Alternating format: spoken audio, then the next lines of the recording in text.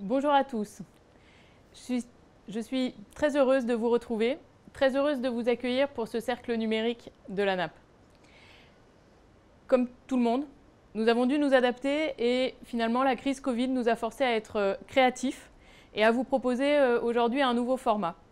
Un format plus court, entièrement digital, euh, sous forme de, masterclass. Alors une masterclass, qu'est-ce que c'est? C'est un invité particulier, prestigieux, et puis, euh, on a élargi euh, un petit peu le cercle pour que cette masterclass soit un peu plus collective. Un objectif, partager avec vous les, enjeux de la transformation numérique dans le champ médico-social. C'est pourquoi l'invité de cette masterclass est Dominique Pont. Dominique qu'on ne présente plus, mais je vais quand même me permettre de redire finalement ton titre officiel. Responsable stratégique de la transformation numérique en santé, euh, qui sera accompagné aujourd'hui avec euh, les équipes de la CNSA, de la délégation du numérique en santé et bien sûr de la NAP. Alors, le virage numérique, on en parle beaucoup, mais de quoi s'agit-il? Le secteur médico-social est en pleine mutation, vous le savez mieux que moi, et il s'agit aujourd'hui de contribuer à favoriser l'émergence d'une société plus inclusive. Plus inclusive pour les personnes âgées, plus inclusif pour les personnes handicapées et probablement plus inclusif pour chacun d'entre nous à un moment donné de sa vie. L'usage du numérique, les différents leviers, les outils qu'il permet sont des facilitateurs. Facilitateurs de parcours sans rupture, facilitation pour accéder à des soins, à des ressources, à des services. Il y a donc une, ce sont donc des outils, des éléments techniques finalement, mais qui ne doivent pas nous faire oublier l'enjeu d'être au service des besoins des personnes et dont le premier objectif est celui-ci, améliorer la prise en charge de chacun d'entre nous.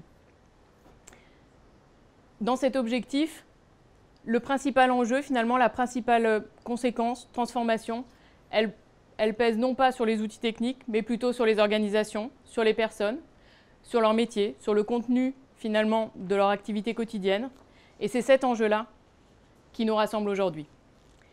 C'est pour cette raison et dans cet objectif que la NAP souhaite être à vos côtés pour engager cette transformation et du coup vous propose cet événement pour pouvoir répondre aux questions que vous avez, aux interrogations euh, qu'elle soulève et collectivement, ensemble, enclencher euh, ce mouvement.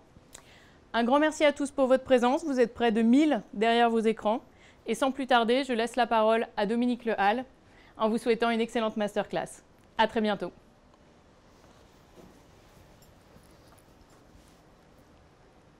Bonjour Dominique Pont, bonjour à tous. Quelques recommandations euh, d'usage avant de, vous passer la parole, Dominique Pont. Donc, euh, euh, vous êtes plus de 1000, comme vient de le rappeler Sophie Martinon. Nous vous demandons de ne pas faire d'intervention au micro, mais d'utiliser le module de chat, la conversation, pour poser les questions euh, qui vous viennent à l'esprit au fil de cette masterclass et des interventions euh, des personnes euh, citées tout à l'heure par, Sophie que je vous présenterai au fil de, de leur arrivée. donc les collaborateurs de la NAP vont relayer ces questions sur une tablette qui est à ma disposition et je pourrai donc interpeller Dominique Pont à, ce sujet. Alors, Dominique Pont, on est vraiment très heureux, comme l'a dit Sophie, de, vous avoir avec nous cet après-midi. Euh, vous, êtes, euh, connu, mais redites-nous quand même qui vous êtes parce que vous avez une carrière atypique, un parcours atypique. Vous êtes ingénieur de formation. Est-ce que vous étiez prédestiné à diriger une clinique, euh, ce que vous faites aujourd'hui, puisque nous sommes en rendez-vous avec vous alors que vous êtes à la clinique Pasteur de, Toulouse, que vous dirigez depuis une dizaine d'années et où vous êtes rentré il y a peut-être une vingtaine d'années maintenant. Dites-nous qui vous êtes. Mm, bonjour à tous, merci à, l'équipe de, Sophie et de l'ANA pour l'organisation hein, de la journée.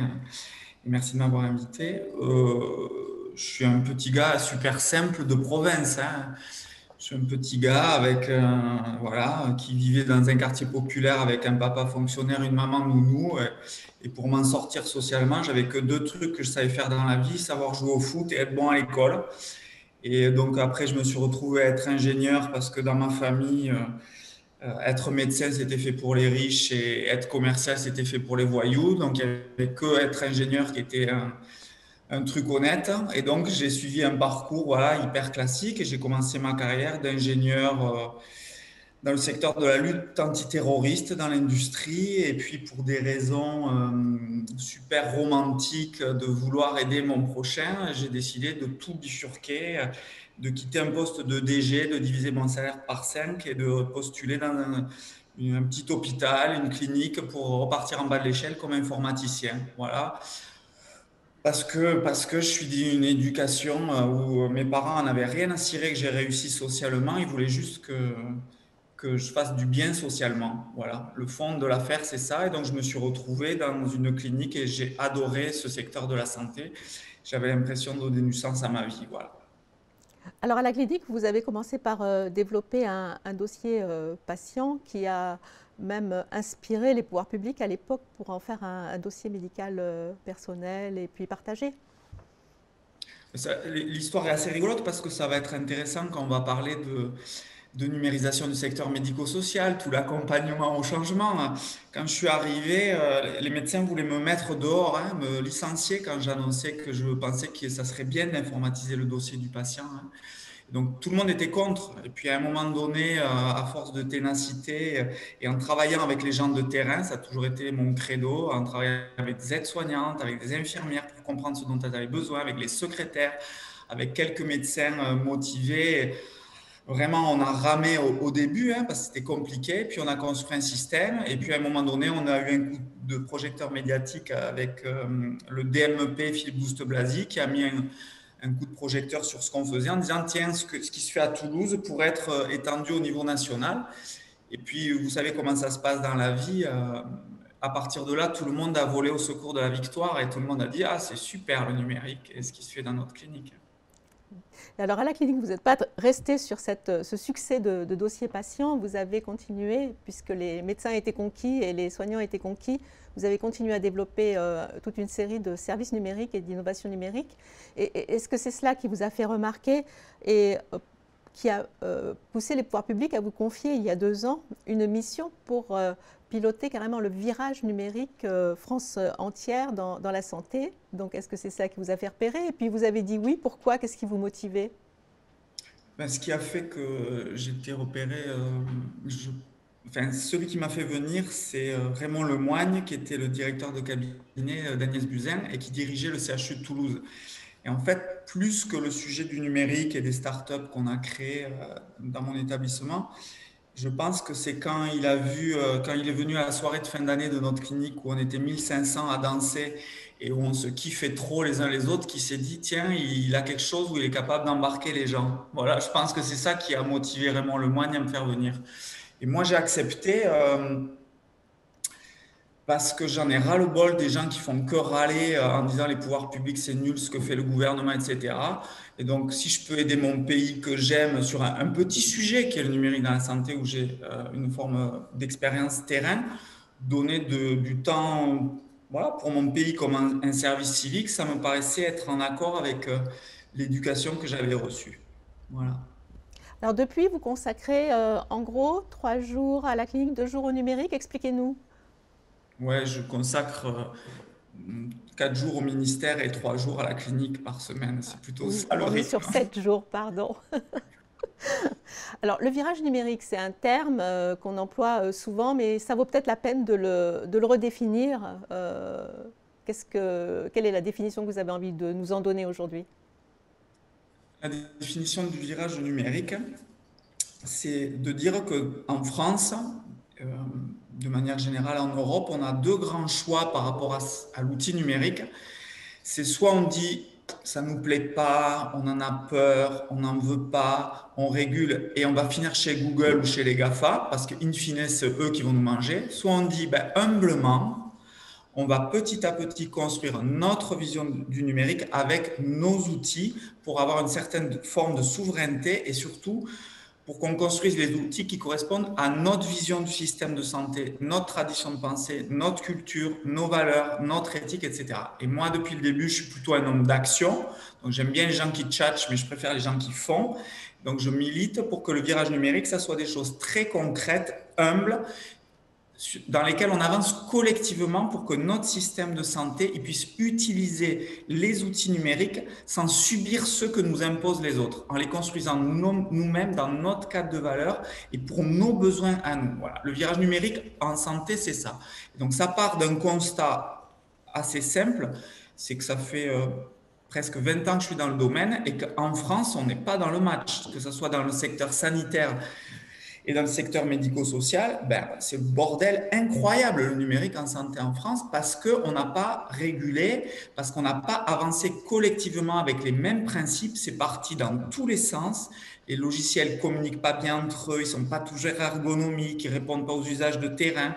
L'État a déserté une vision globale de ce sujet, n'a pas n'a pas cadré les choses, n'a pas proposé un cadre de valeur, n'a pas proposé un cadre de fonctionnement de ces outils numériques. Et donc, on se retrouve avec une construction chaotique et, pas satisfaisante euh, des outils numériques en France avec plein d'inconvénients, avec l'inconvénient majeur, par exemple, que dans le parcours de soins ou le parcours de vie d'un patient, de prise en charge d'un usager du système de santé, que ce soit dans le sanitaire ou dans le médico-social, les outils sont mal fichus, communiquent pas entre eux. Et donc, en fait, on, on suit mal le parcours des gens. On leur propose pas des parcours coordonnés de prise en charge.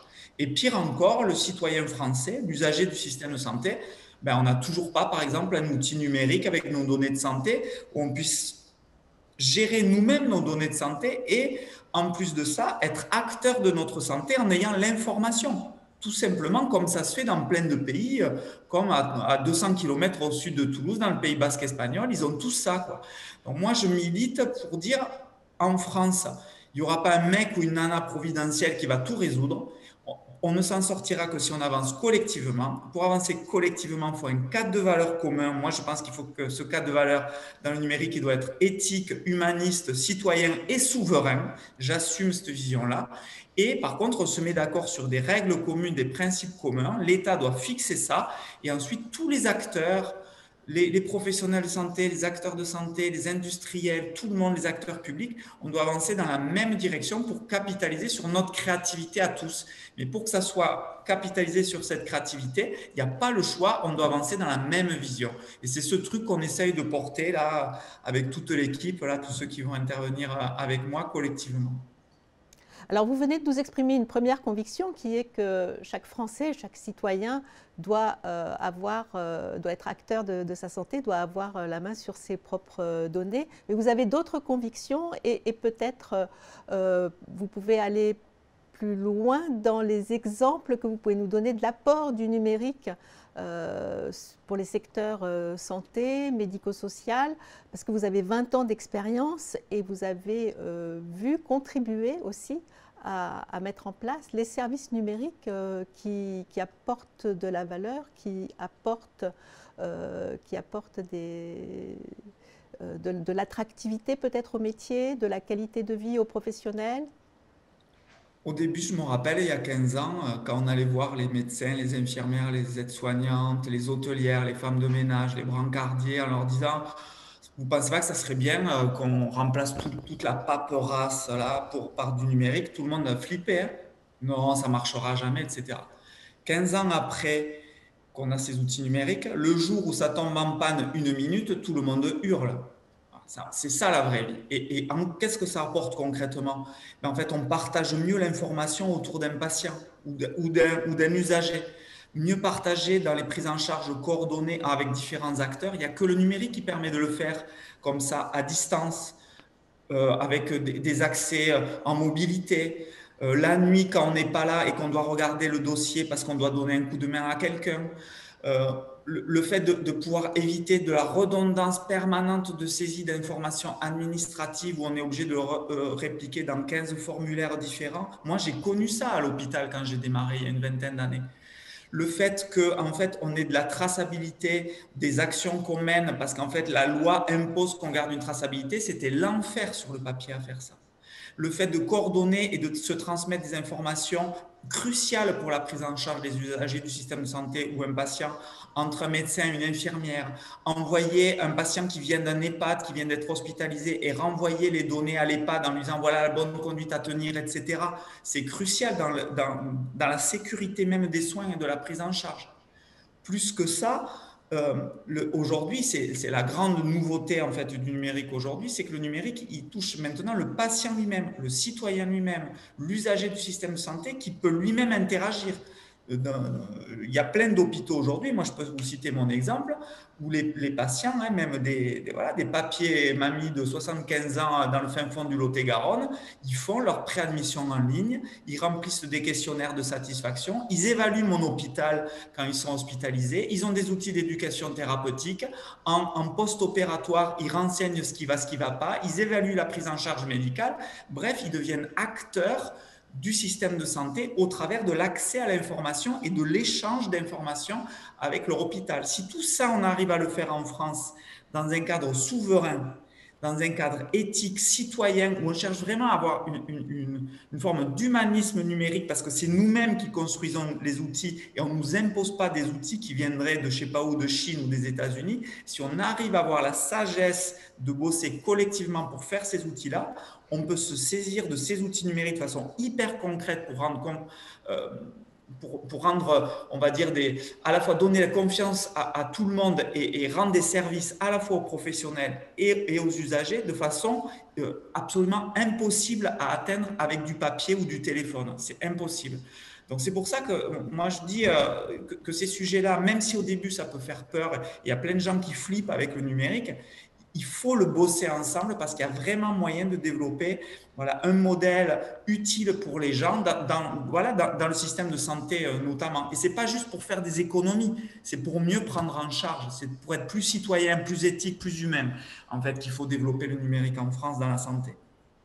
Et alors, vous êtes revenu sur le, patient, l'usager. Effectivement, lui, il, va dans le secteur santé, le secteur médico-social, sans faire euh, de, frontières, sans faire de, de différence. Il n'y a pas de raison que le, que, l'un ou l'autre secteur soit euh, moins bien loti euh, que, son voisin. Et donc, ce que vous vous efforcez maintenant de, faire, euh, c'est d'harmoniser les, échanges, d'harmoniser tout ce qui doit permettre le, partage et la circulation du, patient dans, un numérique en santé globale. En fait, moi, ce que je trouve, c'est bon, il y, a, deux gros sujets. Il y a le sujet qu'il faut que l'État reprenne la main sur des principes, parce que je vous le dis sincèrement, j'ai pas envie qu'on finisse chez les Gafa. Voilà, j'ai pas envie de ça pour notre pays dans le système de santé. Pour faire ça, il faut que l'État, il va pas tout faire l'État. Donc, il faut qu'il anime un écosystème, il faut qu'il assume sa souveraineté. Et donc, moi, la façon dont je ressens les choses, c'est que si on donne l'idée ou la métaphore d'une ville, dans une ville, les pouvoirs publics, ils font le code d'urbanisme, il délivre les permis de construire et il supervise toute la construction de ce qui est commun. Les routes, les ponts, le réseau d'électricité, le tout, à l'égout. Ils font pas des maisons ou des buildings, c'est les acteurs publics ou privés qui font ça, mais tout le monde doit respecter le code d'urbanisme. On construit pas sa maison sans permis de construire et tout le monde se connecte sur les mêmes routes, les mêmes ponts. Donc il y a ce sujet-là qui est majeur, c'est technique, le numérique, on est obligé d'avoir des fondations communes et pareil, sanitaire, médico-social, il faut arrêter de travailler en silo, on s'appuie sur les mêmes routes et les mêmes ponts numériques parce que les parcours de soins ou de prise en charge, ils sont transversaux entre le sanitaire et le médico-social. Donc ça c'est le premier truc, c'est l'État doit se ressaisir des routes, des ponts du code d'urbanisme dans le numérique en santé pour garantir une éthique et une souveraineté. Premier point. Deuxième point, ça fait 15 ans ou 20 ans que j'entends dire le patient est au centre. Si le patient était vraiment au centre, ça ferait déjà 15 ans qu'il devrait avoir son dossier médical informatisé à lui. Donc moi, je pense que la vraie révolution dans le numérique, c'est de redonner la place et le pouvoir au citoyen lui-même. Depuis le début, je pense qu'on est paternaliste avec les gens en considérant qu'ils ne seront pas capables de comprendre ce qu'est un système de santé, un système de soins, pas capables de comprendre leurs données de santé, etc. Moi, je pense que ça, c'est une connerie. Je pense vraiment qu'il faut dire il faut faire confiance aux gens, il faut les accompagner. Il y aura des gens où il faudra créer des nouveaux métiers d'accompagnement numérique. Mais le numérique dans la santé, ça doit être un outil d'émancipation citoyenne pour lui redonner son vrai rôle d'acteur de, sa santé, de sa prise en charge et, de son parcours de vie au sens large. Et donc pour moi, euh, il y a ces deux grandes révolutions. L'État qui refait les routes et les ponts et les codes d'urbanisme et on axe à fond sur le citoyen acteur et tout le monde, bien sûr, n'y arrive pas. Mais je vous donne un, exemple. Dans mon établissement, j'ai une moyenne d'âge de mes patients qui dépasse les 66 ans. J'ai 90% de taux d'adhésion à des outils numériques par les patients. Donc ça veut bien dire que quand même, il ne faut pas qu'on se serve euh, de, de, l'alibi de la fracture numérique pour pas avancer. Les 10% qui manquent, eh bien, il faut être là à côté d'eux, il faut leur proposer des solutions humaines, il faut, faut, former des infirmières ou des aides-soignants ou des accompagnants numériques ou des, ou des assistantes sociales numériques ou des travailleurs sociaux numériques, j'en sais rien, mais il ne faut pas qu'on se saisisse en fait de, de, ces quelques difficultés pour ne pas avancer, parce que sinon on bouffera tous du Google et on pleurera parce qu'on n'a pas notre, notre mot à dire dans les outils qu'on nous propose. Alors, ce que vous venez de nous décrire, ça fait l'objet d'une feuille de route euh, bien, bien, précise euh, que vous avez établie euh, avec des équipes au, fil des, derniers mois. En, quoi cette feuille de route euh, doit-elle euh, intéresser, concerner, euh, être saisie par les, managers, les directeurs, les services du secteur médico-social? Bon, déjà, il y a une feuille de route et il y a des sous quand même. Hein Donc ça, c'est quand même la super nouvelle, franchement récente de l'été. C'est qu'on avait créé une feuille de route pour faire en gros ce que je vous dis, c'est-à-dire que qu'on refixe un code d'urbanisme, des routes, des ponts techniques en disant à tous les logiciels de santé, que ce soit dans les EHPAD, dans les hôpitaux, dans les cabinets de ville, dans les pharmacies, tout le monde se connecte sur ces mêmes ponts numériques et ces mêmes routes numériques. OK?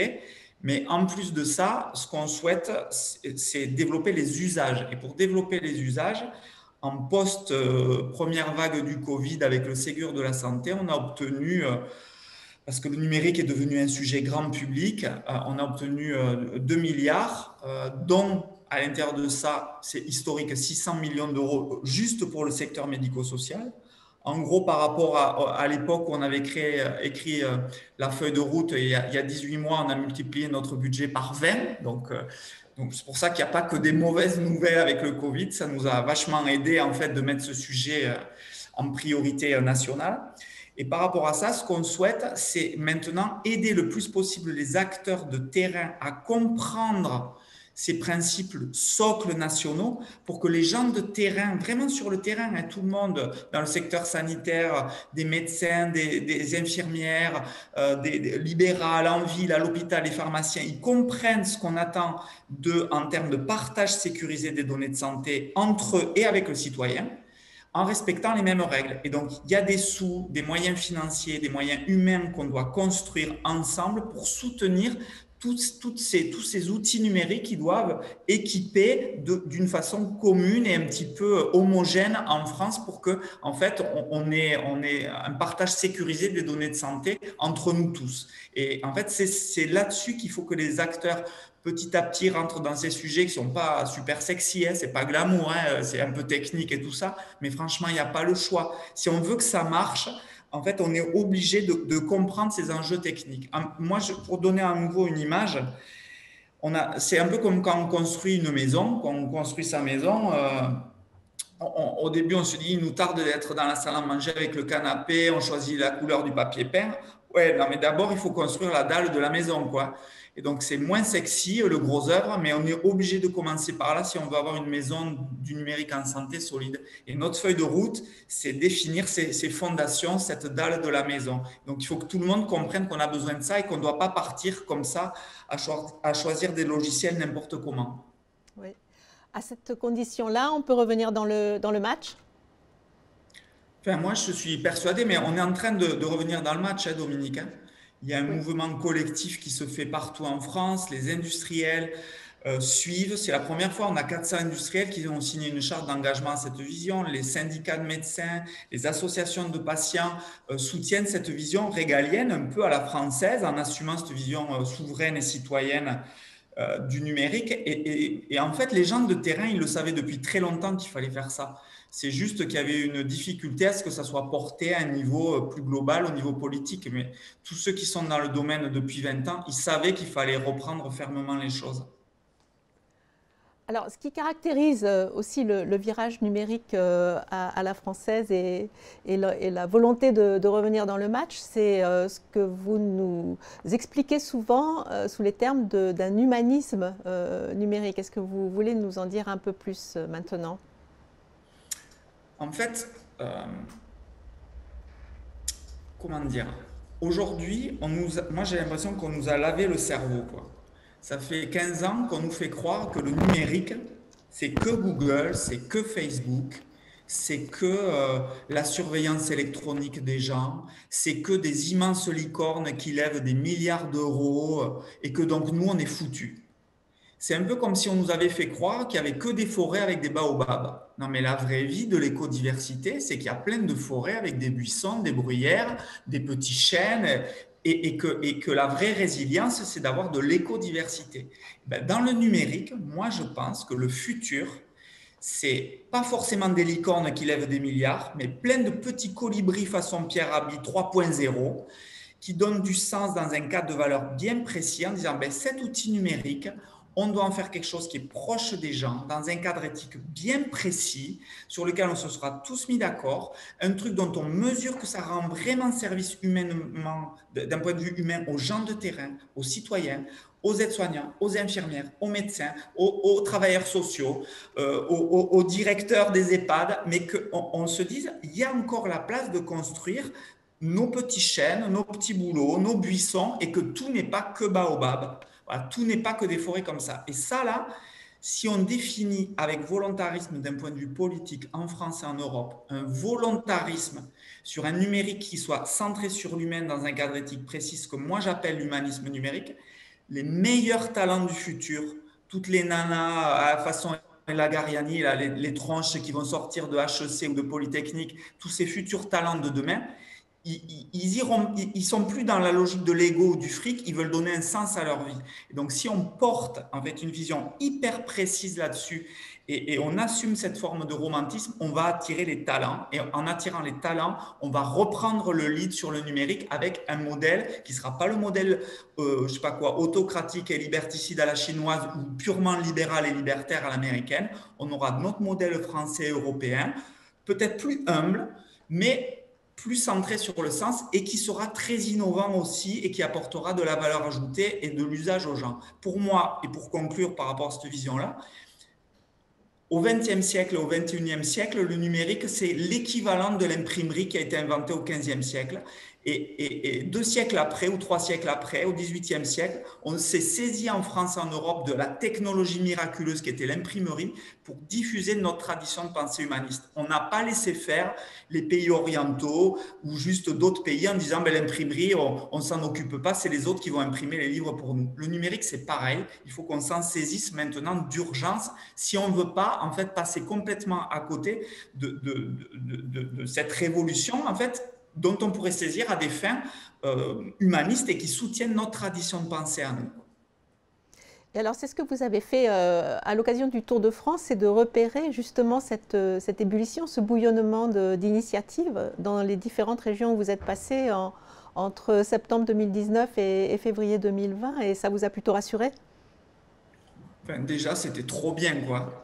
Franchement, c'était trop, trop bien de voir tous ces gens super motivés. Non, mais franchement, la France, c'est un super pays. On n'arrête pas de s'auto-flageller en disant qu'on est naze et tout ça, mais franchement, il y a des gens fantastiques partout. partout, on faisait, euh, dans toutes les régions, mais même au fin fond de l'Amazonie, hein, euh, en Guyane, on a vu que des gens super déterminés, motivés, des espèces de héros numériques, mais partout en France. Et donc, le simple fait de redonner un signal qu'on va définir un cadre commun pour avancer collectivement, on a senti euh, l'énergie, la créativité des gens et la motivation.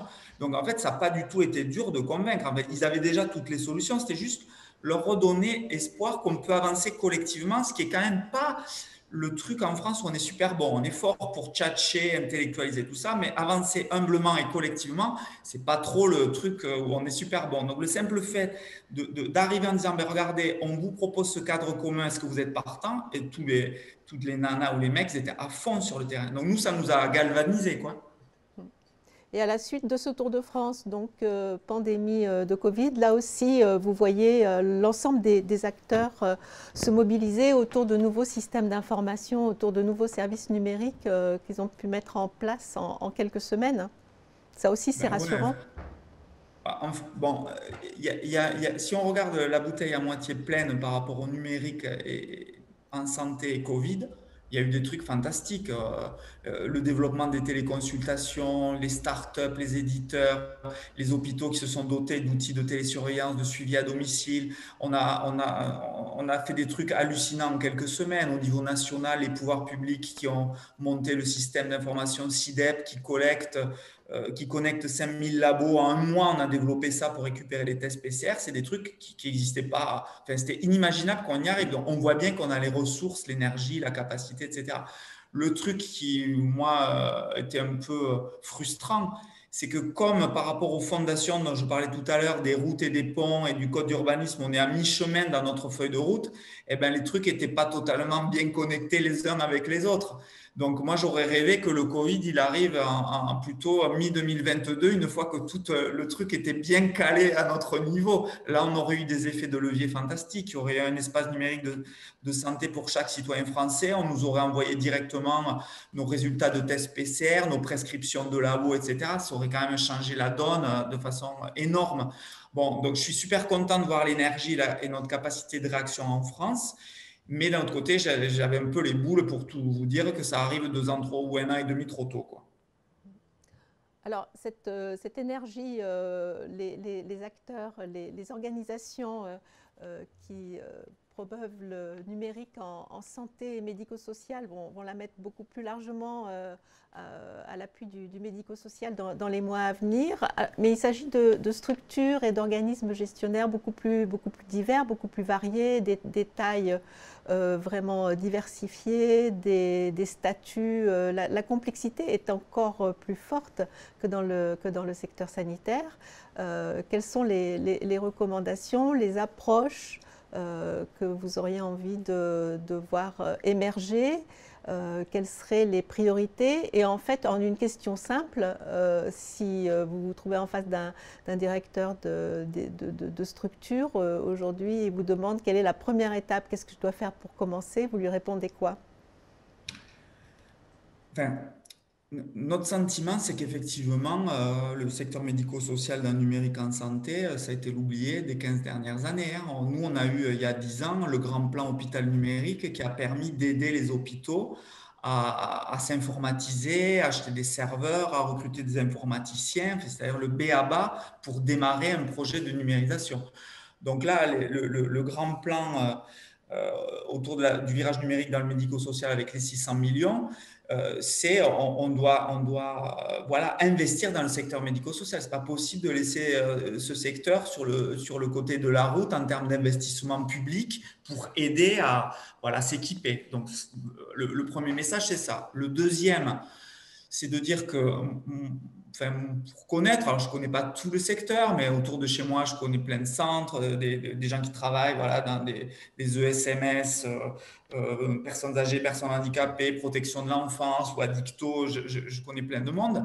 Moi, je pense qu'il y a moyen d'aller vite dans ce secteur parce que je pense qu'il y a une culture de, de la coopération et de, l'avancée en collectif. Et sincèrement, cette culture de la coopération, on n'a pas toujours dans le secteur sanitaire hospitalier. Donc moi, j'ai vraiment confiance dans ce secteur qui a vraiment cette, culture de travailler ensemble. Donc si on met des moyens, si on définit des plans humblement avec des étapes humbles, d'abord, travaillons sur les ressources. Vous avez besoin de ressources humaines pour porter tout ça. C'est fragmenté, vous l'avez dit.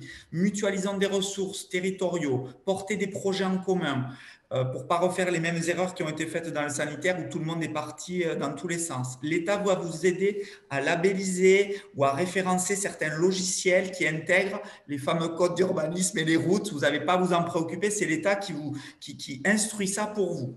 Une fois que vous avez fait ça, on essaie de, de distribuer de l'argent, vous poussant à mutualiser les choses pour que vous continuiez à travailler en commun. On se donne parce qu'il ne faut pas que ça soit un plan trop court terme, parce que si on veut que ça marche, il faut s'inscrire un peu sur la durée. Là, c'est un plan sur 5 ans. Donc, en gros, à, vue de nez, entre 100 et 120 millions d'euros euh, par an. Si on y va étape par étape, main dans la main, pouvoir public, et que nous, on s'appuie sur les gens de terrain, c'est ce que moi j'appelle la gouvernance inversée.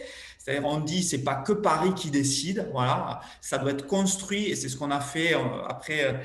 Euh, que ce soit Olivier là ou Benoît vont vous expliquer toute la méthodologie, on s'appuie sur les gens de terrain qui connaissent le terrain, de quoi vous avez besoin en premier, etc.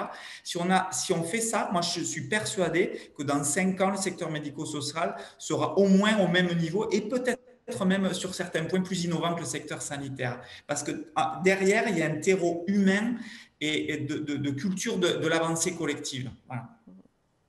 Alors pendant euh, assez longtemps, dans le milieu sanitaire, on, a cité en France quelques hôpitaux euh, qui pouvaient représenter des, vitrines euh, du, numérique en, santé.